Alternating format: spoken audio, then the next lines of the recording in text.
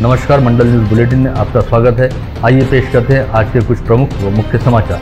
अब तक यदि आपने मंडल न्यूज़ के इस चैनल को लाइक व सब्सक्राइब नहीं किया है तो जल्द से जल्द इस चैनल को लाइक व सब्सक्राइब ज़रूर कर दें।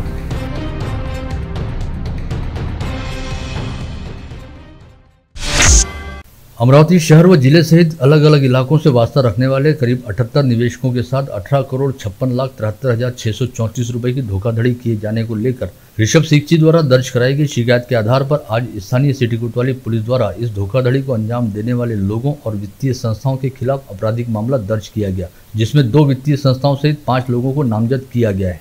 अनुग्रह घोटाले में अमरावती शहर के भी 40 निवेशकों के करोड़ों रुपए फंसे हुए हैं और करोड़ों रुपए के इस घोटाले को लेकर करीब 18 माह पूर्व शिकायत दर्ज हुई थी, जिसे लेकर अब दर्ज हुई एफआईआर में। Anugrah stock and broker private limited के संचालक परेश मुलजी कारिया तेज़ी मंदी डॉट कॉम के संचालक Anil Gandhi, Edelweiss custodial services, NSE के एमडी विक्रम लिमाई व chief regulatory officer Priya Subramaniam तथा सीडीएसएल कंपनी का समावेश है। करीब 18 माह पहले Anugrah stock and broking private limited सहित नेशनल स्टॉक एक्सचेंज व इडलवेस कस्टोडियन सर्विसेज़ सहित विक्रम लिमय व प्रिया सुब्रमण्यम द्वारा आपसी मिली भगत के साथ घोटाला करते हुए देश भर के हज़ारों निवेशकों के करोड़ों रूपए डुबा दिए गए थे, जिसके बारे में अमरावती में रहने वाले ऋषभ सिक्ची व परेश मेहता सहित शहर के कुछ निवेशकों ने अमरावती शहर पुलिस आयुक्तालय में शिकायत दर्ज कराई थी। हालाँकि विगत पंद्रह जुलाई को यह जानकारी सामने आई की इससे पहले महाराष्ट्र के तत्कालीन पुलिस महासंचालक संजय पांडे ने अमरावती शहर पुलिस आयुक्तालय को बाकायदा एक आधिकारिक पत्र भेजते हुए अगले आदेश तक इस मामले की जाँच नहीं करने को लेकर आदेश जारी किए थे, जिसके बाद इसे लेकर, स्थानीय स्तर से लेकर समूचे राज्य में अच्छा खासा हड़कंप व्याप्त हुआ था।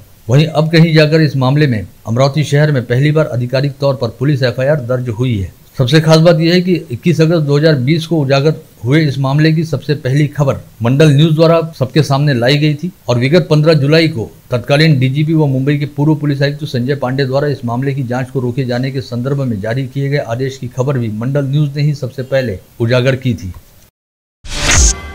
अमरावती की सांसद नवनीत राणा की जान को खतरा होने की जानकारी सामने आई है। उन्हें उनके एक शुभचिंतक ने पत्र लिखकर आगाह किया है। पत्र लिखने वाले ने यह कहा कि कुछ संदिग्ध लोग राजस्थान की सीमा से अमरावती में दाखिल हुए हैं और उन्होंने सांसद राणा के घर की रेखी भी की है। हनुमान चालीसा के मुद्दे को लेकर सांसद नवनीत राणा तथा उनके पति व विधायक रवि राणा खबरों की सुर्खियों में आए थे और राणा दंपति ने उद्धव ठाकरे को चुनौती देते हुए उनके घर के बाहर हनुमान चालीसा पढ़ने की बात कही थी। यह मामला काफ़ी दिनों तक मीडिया की सुर्खियों में रहा। वहीं अमरावती में विगत 21 जून की रात उमेश कोल्ले की बर्बरता से हत्या कर दी गई थी, जिन्होंने भाजपा नेत्री नुपुर शर्मा के समर्थन में सोशल मीडिया पर एक पोस्ट शेयर की थी। इस मामले में सांसद नवनीत राणा ने अमरावती की पुलिस आयुक्त आरती सिंह पर आरोप लगाते हुए मामले की जाँच केंद्रीय जाँच एजेंसी से करवाने की मांग की थी, जिसके बाद से नवनीत राणा को भी इस तरह की धमकियाँ मिल रही थी। वहीं अब किसी अज्ञात शख्स ने अपने नाम का उल्लेख किए बिना सांसद नवनीत राणा को लिखे गए पत्र में खुद को अमरावती शहर का ही निवासी बताया है और अपने खत में लिखा है कि सांसद नवनीत राणा ने थोड़ा संभल कर रहना चाहिए क्योंकि कुछ लोग उनका पीछा कर रहे हैं। पत्र लिखने वाले व्यक्ति ने यह भी कहा कि आपने मेरे कामों में बहुत मदद की है, मैं एक सरकारी नौकर हूँ। आपने मेरा ट्रांसफ़र करवाने में भी मेरी सहायता की और मेरे पिता की कोविड संक्रमण काल के दौरान काफ़ी मदद की। मैं आपको ये बताना चाहता हूँ कि कुछ संदिग्ध लोग राजस्थान बॉर्डर से अमरावती आए हैं और मुझे यह जानकारी मिली है कि वह लोग आपके घर भी आकर गए हैं। मैं ऊपर वाले से दुआ करूँगा कि आपके साथ कोई अनहोनी न हो और आप इसी तरह बड़े से बड़े पदों पर जाएँ। अमरावती जिल्ह्याच्या खासदार नवनीत राणा यांना एक निनावी पत्र त्यांच्या घरी एका शुभचिंतकांनी पाठवलं आणि त्या पत्रामध्ये स्पष्ट असा उल्लेख केला की तुम्ही जेव्हापासून उमेश कोल्हे हत्या जे प्रकरण या अमरावतीमध्ये घडलं, तेव्हापासून त्यांना काही कट्टरवादी लोकांचे धमकीचे फ़ोन एस एम एस आणि अशी निनावी पत्र येत आहे त्या पत्रामध्ये उल्लेख असा आहे की राजस्थानवरून काही लोक कट्टरपंथी लोक हे तुम्हाला तुमचा घातपात करण्यासाठी अमरावतीमध्ये रेकी करून गेले आणि ते पुन्हा येऊ शकतात. त्या अनुषंगाने आम्ही राजापेठ पोलीस स्टेशनमध्ये आज त्याच्या जो ज्यांनी पत्र पाठवलं त्याच्या अनुषंगाने या ठिकाणी आम्ही रिपोर्ट केलेला आहे.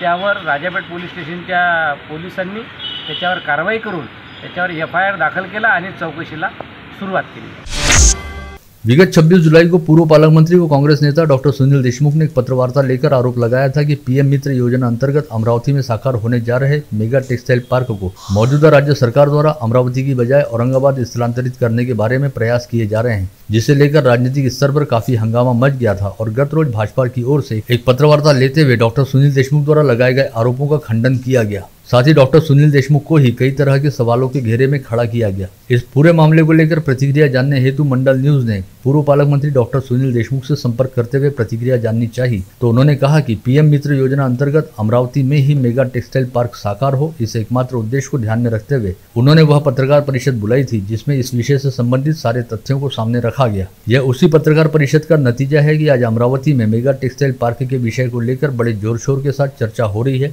ऐसे में अब सरकार में उच्च पदों पर बैठे लोगों को भी इस प्रकल्प के बारे में कोई अन्य विचार करने से पहले दस बार सोचना पड़ेगा। यह एक तरह से हमारी सफलता है। अगर हम इस विषय को पत्रवार्ता के ज़रिए नहीं उठाते तो बहुत संभव है कि यह प्रकल्प चुपचाप अमरावती से औरंगाबाद चला भी जाता और किसी को भी इसकी कानो कान खबर भी नहीं चलती।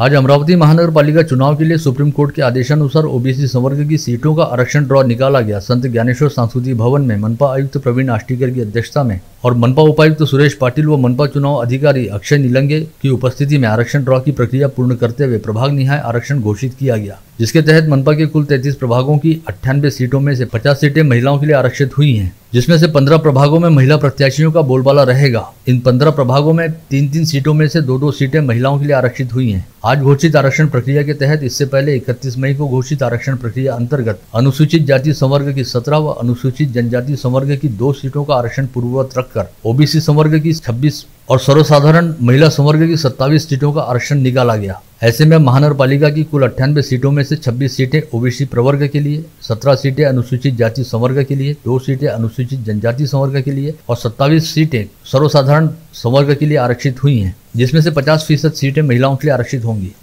सुप्रीम कोर्टाच्या निर्णयानुसार जे काही राज्य निवडणूक आयोगाने रूल काढून दिलेले आहेत, त्या रूल प्रमाणे आजचे ड्रॉ चालू आहे त्या रूल मध्ये रूल जो पंधरा डिसेंबर दोन हजार म्हणजे अनुसूचित जाती त्याचा विषयच नाही राहिला? एससी एनटी ऐकून घ्या ऐकून घ्या ऐकून घ्या. तुमच्या याच्या शंकेचं समाधान होईल. तुमच्या दोन गोष्टी आहेत. मी समजू एवढ्या बत्तीस तेहतीस पैकी जिथे एस सी आणि एस टी दाखवलं त्यातल्या चौदा जागा ज्या रिक्त आहेत त्या चौदा जागाच्या चिठ्ठ्या आपण टाकलेल्या आहेत. त्याच्यामधल्या दहा जागा आपण नागरिकांच्या मागास प्रवर्गासाठी आरक्षित करणार आहोत. हे झालं सोळा दहा सव्वीस. आपला जो शंका आहे ती महिलांच्या आरक्षणासाठीची आहे ती त्याच्यानंतर होईल ती पुढची स्टेप आहे. आत्ताच होईल. म्हणजे इथेच होईल परंतु ती पुढची स्टेप होईल. महानगर पालिका चुनाव को लेकर विगत 31 मई को निकाले गए ड्रॉ को ध्यान में रखते हुए अपनी अपनी राजनीतिक गोटियाँ फिट करने वाले चुनाव लड़ने के इच्छुकों के राजनीतिक समीकरण अब आरक्षण की नई स्थिति के चलते डावाडोल होते नज़र आ रहे हैं, क्योंकि अब तक सर्वसाधारण प्रवर्ग के लिए रहने वाली सीटों में से कई सीटों पर ओबीसी संवर्ग का आरक्षण हो गया है। ऐसे में सर्वसाधारण प्रवर्ग के कई इच्छुकों को या तो अपना प्रभाग बदलना पड़ेगा या फिर चुनाव लड़ने की उम्मीद छोड़ देनी पड़ेगी। मनपा चुनाव के लिए इससे पहले एस सी व महिला संवर्ग हेतु निकाले गए आरक्षण के ड्रॉ को ध्यान में रखते हुए यह आकलन निकाला गया था कि आरक्षण की स्थिति के चलते कांग्रेस को चुनाव लड़ने में आसानी होगी। वहीं नई प्रभाग पद्धति व आरक्षण की स्थिति की वजह से भाजपा को कुछ मुश्किलों का सामना करना पड़ेगा। वहीं अब ओबीसी आरक्षण को लेकर ड्रॉ निकाले जाने के बाद कांग्रेस के कई दिग्गज नेताओं के लिए चुनाव लड़ने का रास्ता और भी अधिक आसान हो गया है। वहीं भाजपा के कुछ चर्चित चेहरों को थोड़ा और मुश्किलों का सामना करना पड़ सकता है। राज्य सरकार के कौशल्य विकास, रोज़गार, उद्योजकता व नवीनता विभाग की प्रधान सचिव मनीषा वर्मा आज एक दिवसीय दौरे पर अमरावती पहुँची, जिनकी प्रमुख उपस्थिति के बीच जिलाधीश कार्यालय के सभागार में आज अमरावती व नागपुर विभाग की युवतियों व महिलाओं को कौशल्य प्रशिक्षण व रोज़गार के अवसर उपलब्ध कराने वाले प्रशिक्षण प्रकल्प को लेकर जिलाधीश कार्यालय, पंजाबराव देशमुख विदर्भ प्रशासकीय विकास प्रशिक्षण प्रबोधिनी तथा Nav Gurukul foundation for social welfare के बीच सामंजस्य करार हुआ। इस अवसर पर अपने विचार व्यक्त करते हुए प्रधान सचिव मनीषा वर्मा ने कहा की महिलाओं में आर्थिक सक्षमीकरण को लेकर सकारात्मकता निर्माण करने के लिए तमाम आवश्यक कदम उठाए जाने चाहिए। बीते 24 घंटे के दौरान अमरावती ज़िले में 25 कोविड संक्रमित मरीज़ पाए गए। इसके साथ ही एक्टिव पॉजिटिव मरीजों की संख्या बढ़कर एक हो गई है। जिनमें से इस समय तीन मरीजों को इलाज के लिए कोविड अस्पताल में भर्ती रखा गया है। वहीं मनपा क्षेत्र में तिरालीस और ग्रामीण क्षेत्र में 108 मरीजों को होम आइसोलेशन में रखा गया है। राहत वाली बात यह भी है कि बीते 24 घंटे के दौरान अमरावती ज़िले में 27 मरीज़ कोविड मुक्त भी हुए। रिटेल किराना एसोसिएशन द्वारा रुक्मिणी नगर परिसर स्थित सुयोग मंगल कार्यालय में दोपहर दो से चार बजे तक रिटेल किराना व्यवसायियों हेतु कार्यशाला का आयोजन किया गया था, जिसमें अन्न व औषध प्रशासन के वरिष्ठ अधिकारियों द्वारा अन्न सुरक्षा व मानदेय कानून को लेकर उपस्थितों का मार्गदर्शन किया गया। साथ ही फ़ूड लाइसेंस की प्रक्रिया को लेकर आवश्यक दिशा निर्देश भी दिए गए। आज अमरावती शहरातील अन्न व्यावसायिकांच्या परवाना आणि नोंदणी घेण्याबाबत त्यांना मार्गदर्शन केलेले आहे. त्यासोबतच अन्न आणि परवाना हा ऑनलाईन घ्यावा लागतो. त्यासाठी फॉस्कॉस ही ऑनलाईन प्रणाली विकसित केलेली आहे. सेंट्रल गव्हर्मेंट त्यांनी विकसित केलेली आहे. त्यामध्ये ऑनलाईनच अर्ज करावा लागतो. पण ऑनलाईन अर्ज करत असताना बरेच न व्यावसायिक जे आहेत ते त्यांचा स्वतःचा मेल आय डी आणि नंबर देत नाही. तो तर सायबर कॅफेवाल्या ज्यांच्याकडून नंबर भरला जातो फॉर्म फॉर्म भरला जातो त्यांच्याकडून चुकी केल्या जाते त्यांचा नंबर नसतो तो करेक्ट आय डी झाला पाहिजे करेक्ट मेल आय डी आणि मोबाईल नंबर असला पाहिजे. त्यासाठी हे आजचं मार्गदर्शन व्यापाऱ्यांना केलेलं आहे. कामगार कल्याण के अमरावती गढ़ द्वारा आज शुक्रवार 29 जुलाई को छावड़ा प्लॉट स्थित ललित कला भवन में दोपहर दो से शाम पाँच बजे तक गढ़ स्तरीय समर्पित स्पर्धा का आयोजन किया गया, जिसके उपरांत इस स्पर्धा के पुरस्कार गणमान्यों के हाथों वितरित किए गए। इस स्पर्धा में चयनित समूह को मुंबई के विक्रोली में तीन अगस्त को अगस्त क्रांति दिवस के उपलक्ष्य में आयोजित होने वाली राज्य स्तरीय स्पर्धा में हिस्सा लेने का अवसर मिलेगा।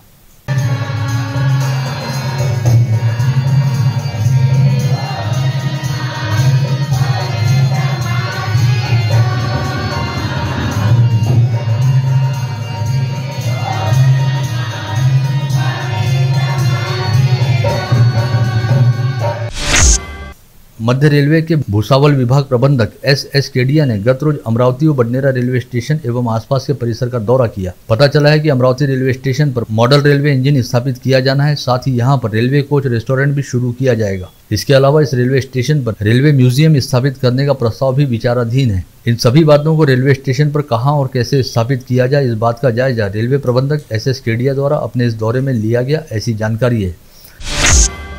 श्री शिवाजी शिक्षा संस्था के चुनाव में उतरे विकास पैनल ने अपने प्रचार दौरे शुरू कर दिए हैं। संस्था के मौजूदा उपाध्यक्ष तथा अध्यक्ष पद के दावेदार नरेश चंद्र ठाकरे के नेतृत्व में विकास पैनल के सभी उम्मीदवारों ने एकत्रित रूप से अमरावती ज़िले के सभी आजीवन सभासदों की भेंट लेना शुरू कर दिया है। स्थानीय नगर वाचनालय में आयोजित लोकमान्य तिलक व्याख्यानमाला की तीसरी श्रृंखला में सुनंदा आसोले द्वारा अपने विचार व्यक्त करते हुए कहा गया कि स्वाधीनता पूर्व काल में लोकमान्य तिलक द्वारा प्रतिपादित किए गए शैक्षणिक विचार आज भी बेहद प्रासंगिक हैं। ऐसे में लोकमान्य तिलक को दूरदर्शी शिक्षावीर कहा जा सकता है।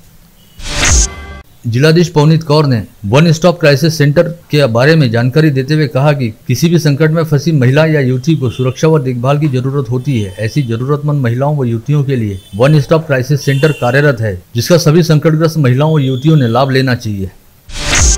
केंद्र सरकार द्वारा शुरू की गई अग्निपथ योजना अंतर्गत सुशिक्षित व अविवाहित युवकों के लिए सेना में भर्ती हेतु आवेदन करने की अंतिम तिथि तीन अगस्त है। इस भर्ती में शामिल होने के इच्छुक उम्मीदवार इंडियन आर्मी की वेबसाइट पर जाकर लॉगिन करते हुए ऑनलाइन आवेदन कर सकते हैं। पश्चात उन्हें 10 अगस्त से ईमेल के माध्यम से प्रवेश पत्र भेजे जाएँगे, जिसकी प्रिंट निकाल कर उन्हें भर्ती की जगह व समय पर पहुँचना पड़ेगा। विदर्भ क्षेत्र में 17 सितंबर से 7 अक्टूबर तक सैन्य भर्ती सम्मेलन का आयोजन किया गया है, जिसका क्षेत्र के अधिक से अधिक युवाओं द्वारा लाभ लिया जाना चाहिए, ऐसी अपील सैनिक कल्याण अधिकारी मनीष कुमार गायकवाड़ ने की है। एक जनवरी 2018 को भीमा कोरे गाँव में भीम अनुयायियों के साथ मारपीट की घटना घटित हुई थी, जिसके निषेध में समूचे राज्य में भीम सैनिकों द्वारा आंदोलन किए गए थे। लेकिन तत्कालीन सरकार ने आंदोलन करने वाले भीम सैनिकों पर अपराध दर्ज किए और इन मामलों को आज तीन वर्ष बीत जाने के बावजूद खारिज नहीं किया गया। ऐसे में ऑल इंडिया दलित पैंथर द्वारा आज जिलाधीश को ज्ञापन सौंपते हुए वर्ष 2018 में भीम सैनिकों के खिलाफ दर्ज किए गए मामलों को खारिज किए जाने की मांग उठाई गई। देवगांव के फांसे पारदी व आदिवासी समुदाय के नागरिकों ने आदिवासी फांसे पारदी समाज संगठन के बैनर तले जिलाधीश को सौंपे निवेदन में देवगांव ग्राम पंचायत के सरपंच द्वारा घरकुल योजना के लिए मंजूर भूखंड की ग्राम पंचायत में पंजीयन करने में आनाकानी करने और अतिवृष्टि के दौरान भी समाज मंदिर का ताला नहीं खोलने को लेकर शिकायत की है। ज़िले के बुडना निवासी 25 से अधिक किसानों के खेत में जाने वाले पगडंडी मार्ग को शिवंता दिलीप जाम्बुलकर द्वारा तार कंपाउंड लगाकर बंद कर दिया गया। इस आशय की शिकायत आज पीड़ित किसानों द्वारा जिलाधीश से मिलकर की गई। साथ ही इस पगडंडी रास्ते को जल्द से जल्द खुला करवाने की मांग भी उठाई गई। फनलैंड वाटर पार्क से सात मोबाइल व सात हज़ार नगद, ऐसे कुल चौवालीस हज़ार रुपये का माल चुराने वाले दो आरोपियों को फ्रेजरपुरा पुलिस ने गिरफ़्तार किया है। इन आरोपियों ने चोरी किए गए सात मोबाइल में से चार मोबाइल को ओएलएक्स वेबसाइट पर बेच डाला था। वहीं पुलिस ने लालखड़ी निवासी आरिफ खान, आबिद खान तथा सुफिया नगर निवासी सोहेल यासीन कामदार नामक दो आरोपियों के पास से सात में से तीन मोबाइल जब्त करते हुए उन्हें गिरफ़्तार किया है। शहर में आए दिन घटती चेन स्नेचिंग व अन्य आपराधिक वारदातों पर नकेल कसने तथा आगामी त्योहारों के मद्देनजर शहर में किसी भी प्रकार की अनहोनी घटना को रोकने के लिए पुलिस आयुक्त आरती सिंह के आदेशानुसार शहर के सभी 10 पुलिस थाना क्षेत्र अंतर्गत रात्रिकालीन नाकाबंदी शुरू कर दी गई है, जिसके तहत शहर से आने जाने वाले सभी वाहनों की तलाशी की जा रही है। गत रोज चांदूर बाज़ार के कृष्णकुंज कॉलोनी परिसर निवासी रत्नाकर पटोले ने पुलिस थाने पहुंचकर शिकायत दर्ज कराई थी कि उनके घर के सामने हमेशा खड़ी रहने वाली सफ़ेद रंग की स्विफ्ट डिज़ायर कार अज्ञात चोरों द्वारा चुरा ली गई। शिकायत मिलते ही पुलिस ने तुरंत हरकत में आते हुए नाकाबंदी की और कार की तलाश करनी शुरू की। इसी दौरान थूगांव मार्ग पर एक कार लावारिस पड़े रहने की सूचना पुलिस को मिली और पुलिस ने तत्काल वहाँ पहुंचकर कार को जब्त किया और इस वाहन को कार मालिक रत्नाकर पटोले के हवाले किया। कुर्रा से धामनगांव रेलवे मार्ग पर गुंजी के पास गुरुवार की रात एक अज्ञात वाहन द्वारा टक्कर मार दिए जाने के चलते दुपहिया पर सवार होकर आ रहे दो युवकों की मौके पर ही मौत हो गई। ये दोनों युवक फर्नीचर का काम करने के लिए अमरावती जा रहे थे। मृतकों की शिनाख्त सोनू व रंजीत के तौर पर हुई है, जो झारखंडी के निवासी बताए गए हैं। आप देख रहे थे मंडल न्यूज़ बुलेटिन। हमारे चैनल को लाइक करें, शेयर करें और हाँ सब्सक्राइब करना ना भूले। कल होगी आपसे फिर मुलाकात। तब तक के लिए धन्यवाद।